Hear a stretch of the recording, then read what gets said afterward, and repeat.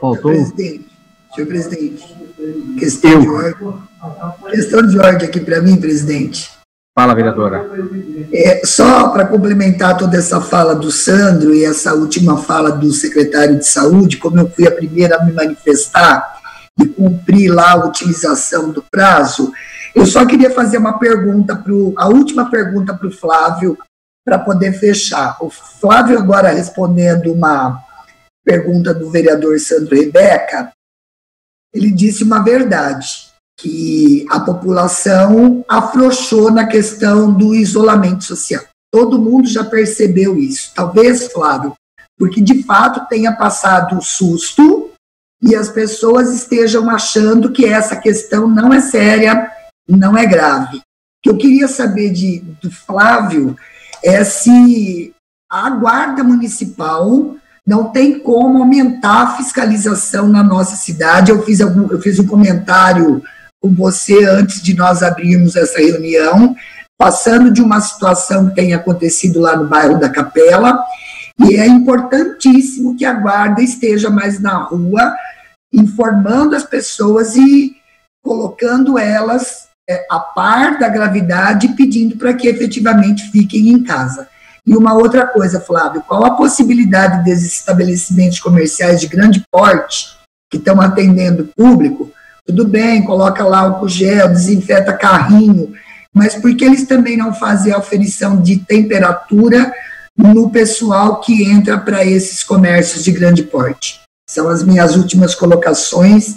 Obrigada a todos, obrigada Edu, secretário Flávio, secretário do Galaço. Obrigada pela parte, presidente.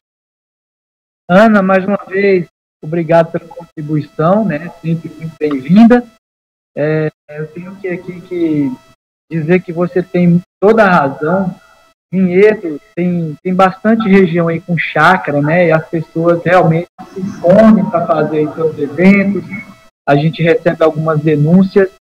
Eu estou sempre em contato com o Cruz, mas para fiscalizar todo o município, acho que tem um microfone aberto, né? Tá microfonia do Rubão, tá aberto. É, para fiscalizar todo o município e no momento em que, a, em que o movimento acontece, realmente é, não é impossível, mas é muito difícil e a gente conta principalmente com denúncias, Ana. E até conversando com você um pouquinho aqui nos bastidores hoje, você me trouxe algumas situações que eu já anotei, vou conversar com o Cruz e, e realmente a gente precisa intensificar essa, essas vistorias, né? e, e para fazer com que as pessoas realmente entendam que a situação é séria, não é porque a gente não teve um pico de casos aqui que é para afrouxar, né? Até porque é um vírus invisível, é um inimigo que é difícil de combater, né? E então cada um tem que fazer sua parte realmente. Com relação ao estabelecimento, alguns já fazem né, a aferição da, da temperatura. É, eu já conversei com alguns profissionais da Secretaria de Saúde, nem todos têm esse entendimento que aferir a temperatura vai trazer melhor, melhores condições aí para as pessoas. Por, eu vou dar um exemplo aqui, né? É, se a pessoa toma um Tilenol e sai para a rua, a temperatura logicamente abaixa, né? E a pessoa vai, vai aferir no mercado, vai estar com a temperatura baixa, mas não necessariamente é porque ele, ele não está infectado.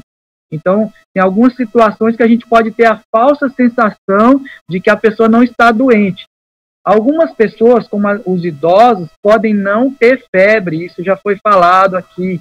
Eu acho que vale a pena, sim, Ana, intensificar todas as medidas que são possíveis de, de serem executadas, precisam ser executadas, mas a gente não pode perder de vista algumas situações atípicas que podem ocorrer, né, que a população em geral não sabe que isso acontece, mas que a saúde está sempre atenta, né? Uh, o idoso, por exemplo, ele pode não apresentar febre, né? Por condições biológicas dele, o organismo já não tem aquela resposta como uma, uma criança, por exemplo.